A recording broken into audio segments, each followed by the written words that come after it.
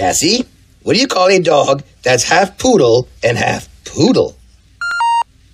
That would be a poodle. However, I expect you would like me to say poo poo. Yeah, yeah, say it! Poo poo.